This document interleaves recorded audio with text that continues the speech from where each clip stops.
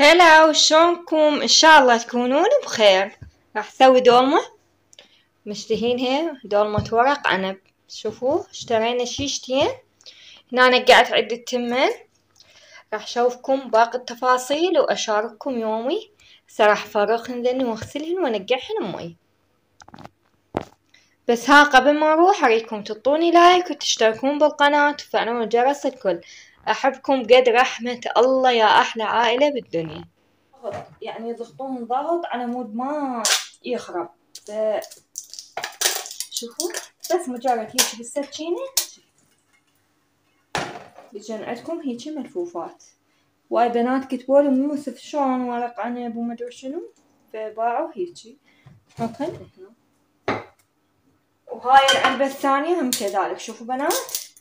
هن يجن بيهن ضغط فلازم هيك تسوون بالسكين؟ سحبة هيك بسيطة تطلع عندي. هسه شنو أسوي؟ احطه بالمي. هاي بنات مواد حافظة المي مالته أبد لا تخلوه دائما ذبوه وارجعوا وغسلوه يعني لا تخلوه مي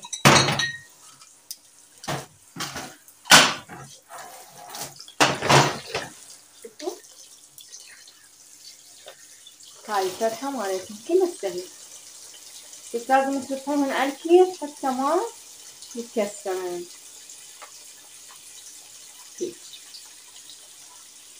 هم لا فيهن لف خلاص بس. ترى اوفى منقع بالمي وبين ما ينقع التمن راح اسوم البصل بمحضرة الطعام. يلا أبلش أنا وياكم بالدولمة Thank you.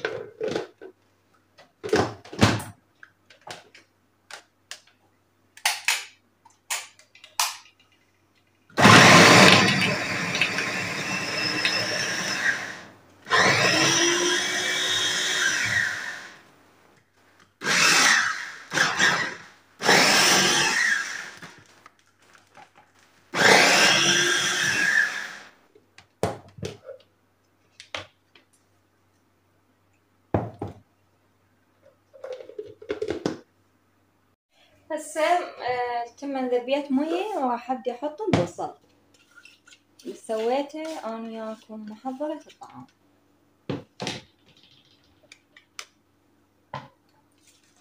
يلا وينهم عشاق الدولمة يوم راح اوكلكم دولمة على أصولها.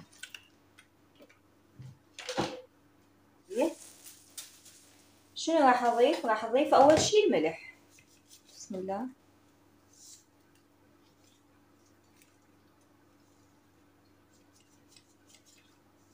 خلاص. راح أبدأ أضيف هنا البابريكا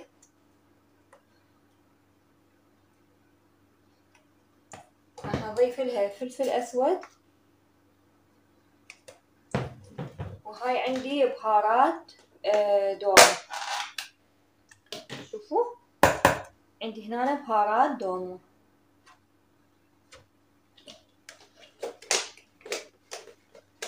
وارجع شنو اضيف لها اضيف لها عصرة ليمون.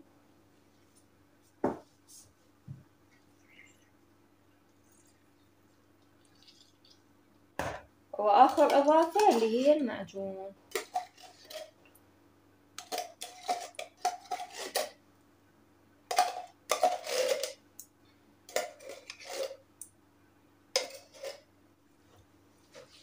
هسه أبدأ أخلطها كلها زين. طبعا هاي لازم بالإيد. شوفوا. يعني متأكدين من إيدينا غاسليها مية بالمية. أنا بيا واهس كل ساعة اغسل فعلى مود اللحم يصير ويا التمن ينعجن كله زين. يعني لازم بإيدينا.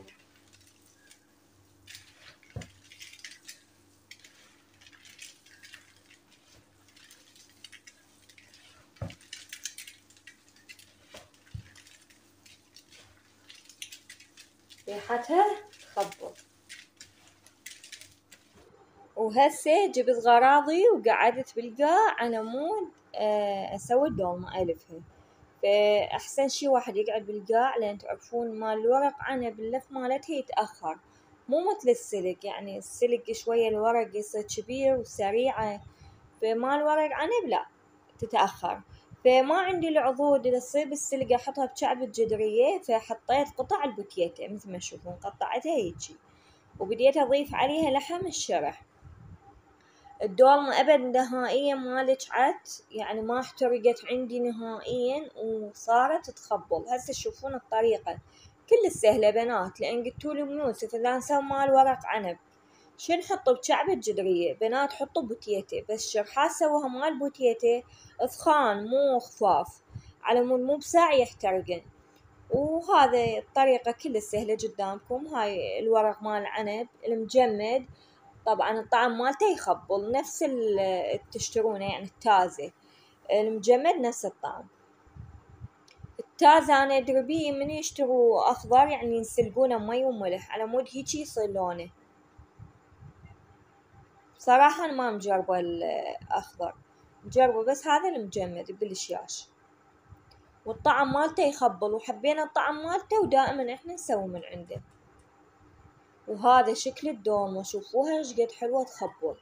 هنا عندي من الحشو فعندي فلفل أخضر فحشيتهم. هنا شوفوا هاي الشيشة ترستها مي بس مي ما حطيت وياها شي. وللوجه أضيف الزيت. على مود هيجي يعطيها اللمعة والشكل اللي يخبل شوفوا. وخلاص أحط عليها قباق بالبداية أخليها على نار عالية. تفور فورة فورتين وبعدين أنص النار وأخليها على كيفها تستوي. تقريبا وقت ساعة. وهاي الدولمة غدت لكم مي. لا تقولون هذا الورق ما يستوي؟ لا يستوي. بس خلوها فورة فورتين وبعدين نص النار وخلاص. تطلع عندكم أطيب دولمة. نادى أشوفكم إياها هي على الطباخ مثل ما قلت لكم وقت ساعة وأبو يوسف راح يقلب لنا الدولمة. هاي طقة الدجاجة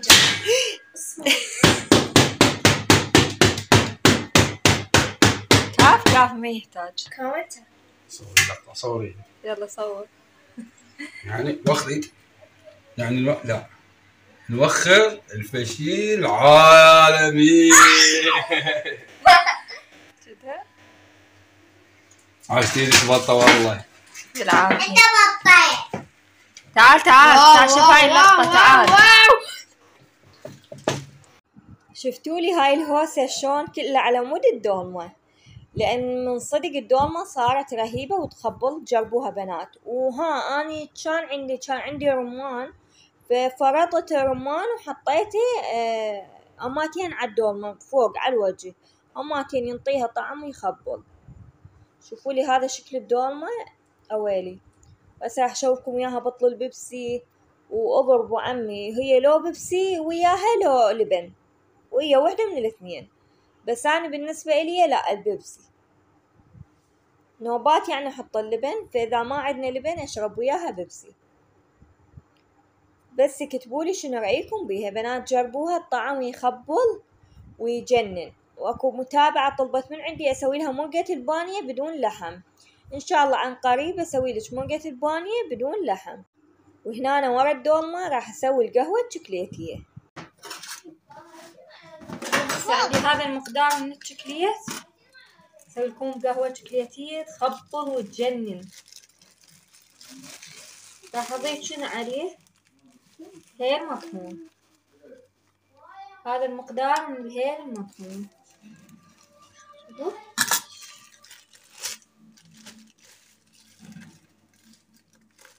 بعدين شنو راح أضيف؟ راح أضيف القهوة. هاي نوعية القهوة. شوفوا هاي نوعية القهوة.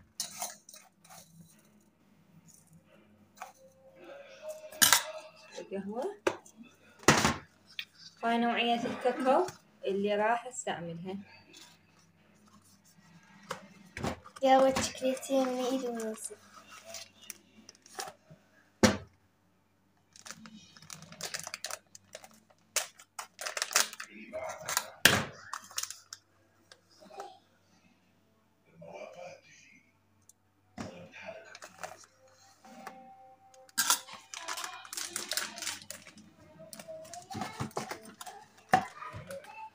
اضيف الحليب أي نوعية حليب؟ تضيفوها عادي. طبعا مطلعين باب الحارة وديبانهم وهنا على البارد نضيف المي. يعني بعدنا ما حطيه على الطباخ نضيف المي. ونخلطها على البارد. بعدين نحطها على الطباخ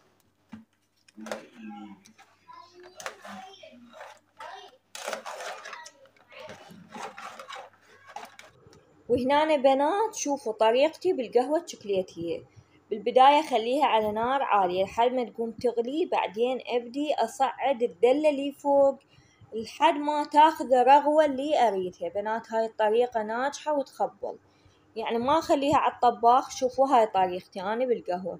هاي الطريقة تعطيها طعم ويخبل. ما تاخذ من عندكم وقت ولا تتعبكم خمس دقايق.